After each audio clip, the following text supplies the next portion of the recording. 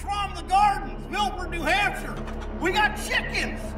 Bone in, bone out.